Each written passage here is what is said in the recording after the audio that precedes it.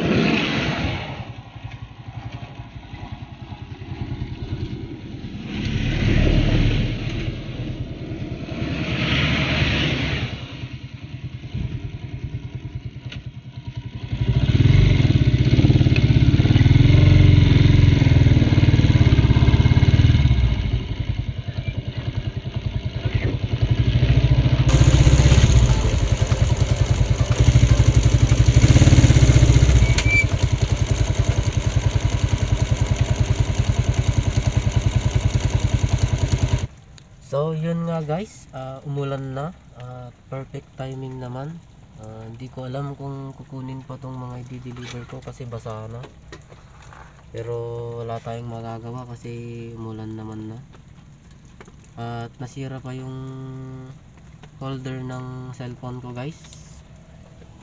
Yeah guys, ah, natanggal yung sa may lock niya dito. Malas. Check up natin yung karga natin. Yan yung karga natin guys, basa na.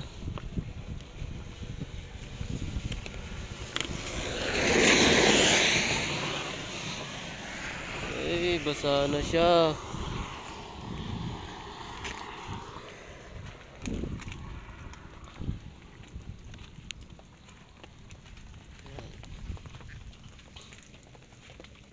Lumilim muna ako saglit guys para ano, patilain konti yung ulan. Ah, Hindi ko na may tutuloy yung record natin guys sa daanan natin. Ah, yan, dito tayo sa bukid. Yan, mga kabukiran. Yan. Dito tayo papunta guys, dito. Ah, binaling ko lang diyan para hindi ako matalasikan ng tubig diyan sa may ano. Ay, kumusta ka na?